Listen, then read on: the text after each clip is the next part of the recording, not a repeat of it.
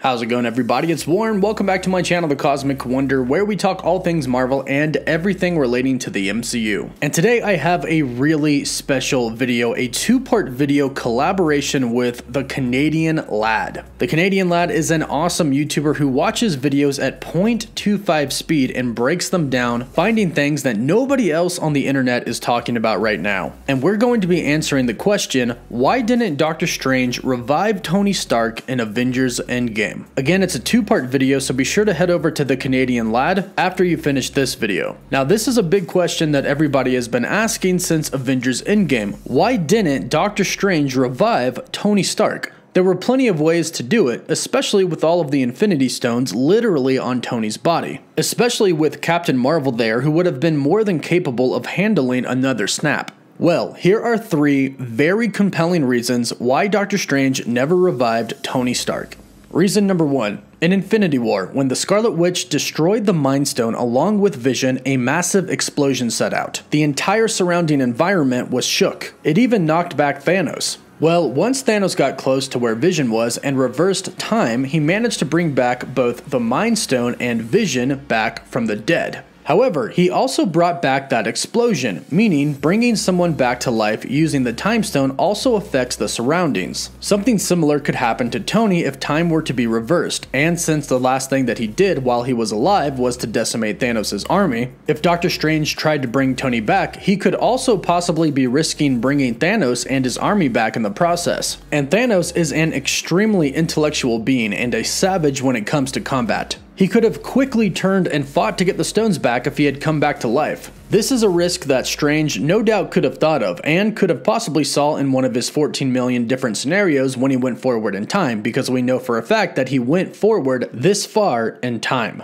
Now say that Doctor Strange was perhaps not going to just use the Time Stone but use all of the Infinity Stones to bring Tony back. Well that brings us to reason number 2 why Doctor Strange didn't revive Tony Stark. The Infinity Gauntlet and or Nano Gauntlet can't actually bring anyone back to life that died. Now, of course, your first thought will be, but Hulk snapped and brought back the half of the universe that was snapped, so it can bring people back to life, right?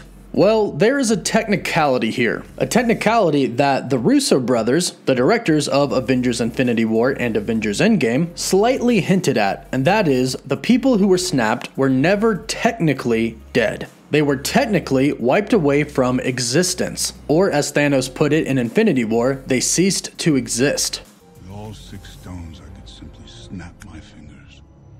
They would all cease to exist, and I call that mercy. The Russo brothers, in an interview after Avengers Infinity War, stated that Thanos didn't technically kill anyone, he wiped them away from existence. And they kind of hinted at the possibility of everybody that was snapped being in Soul World, but that really never came to fruition in Avengers Endgame. However, they did say that Thanos technically didn't kill anyone. He wiped them away from existence. Now, this is very, very particular phrasing. Perhaps death and being wiped from existence are two very different things in the Marvel Cinematic Universe. The MCU's metaphysical reality has not yet been established, but if there's any kind of an afterlife, the Infinity Gauntlet may not have power over it. Because remember, the Infinity Gauntlet in the movies is not the same as the Infinity Gauntlet in the comics. In the comics, Thanos could snap as many times as he wanted to without getting even a little bit hurt. In the movie, when Thanos snaps the first time, it destroys nearly half of his body, and when he snaps again, it almost kills him. Much different from the comics. Even Nebula in the comics could snap and not get hurt. And in the movies, the Russo brothers said that in order to use the gauntlet's powers, you had to close your fist. This is demonstrated on the Titan scene when Doctor Strange tells his cloak, don't let him close his fist, so Thanos couldn't use the gauntlet.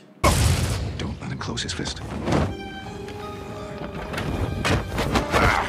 Point is is that the gauntlet in the movies is very different from the gauntlet in the comics and may not have the power to bring people back from the dead who are in the afterlife completely. Perhaps this is also why the Hulk couldn't bring Nat back in Avengers Endgame even though, as he said, he tried to. Perhaps it had nothing to do with her being the sacrifice for the Soul Stone, but more with the fact that the Gauntlet just doesn't have that power since she was actually dead from a fall and not from the stones. The same could be said about Vision and Quicksilver. Why didn't they come back? Why wasn't the Gauntlet and the stones used to bring them back? Well, the Gauntlet may not have that power, and perhaps that's why Strange couldn't use the stones to bring Tony back. The third answer to why Tony Stark was not revived in Avengers Endgame is a very interesting answer. And the answer is that Tony Stark had to die and Doctor Strange knew it. Now, Doctor Strange knew that Tony had to snap and he knew that he would die in the process. But once Tony snapped and Thanos and his army and the threats were gone, why didn't he bring it back after? What's the threat? Well, the threat could have actually been Tony himself.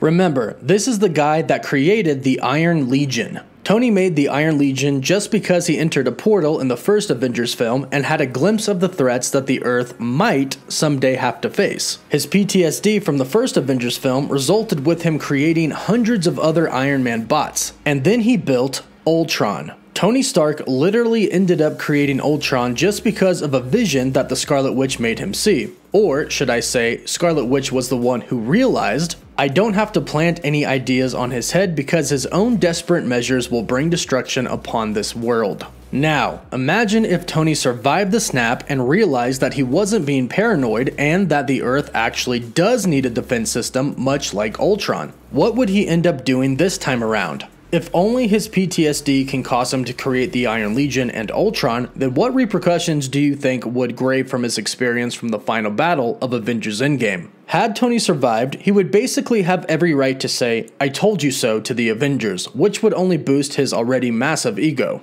Couple that with the mountain of vibranium from Wakanda, since they had opened up 5 or 6 years prior to Endgame, and the access he had to the 6 Infinity Stones, and you start to see why it might be a good idea to let the man die in sacrifice. And this could have very well been one of the futures that Doctor Strange saw, in which Tony Stark again brought about the destruction himself. Again, there are probably many ways that they could have brought Tony back. The Time Stone itself, all of the Infinity Stones, and Doctor Strange is the master of the mystic arts. He probably could have figured out a way, but in the end, he knew that Tony Stark had to die and therefore could not revive him. I hope you all enjoyed this theory that me and the Canadian lad came up with together. Be sure to go over to his channel and check out his part of the video. As I mentioned, this is a collaboration video, and I'll have you know that he is one of my favorite YouTubers. Like I said, he is making videos that nobody else on YouTube is taking the time to do, and his breakdowns are absolutely insane. He watches movies like Avengers Endgame, Avengers Infinity War, The Justice League at 0.25 speed, and finds a ton of different hidden little Easter eggs and little details that everybody else on YouTube is missing. I wish my breakdowns were as good as his, and we both plan to bring you some more breathtaking content in the future. So be sure to go over and subscribe to his channel, and let us know in the comments down below what you thought about this theory. Be sure to leave a like and subscribe so you don't miss out on any of the latest content.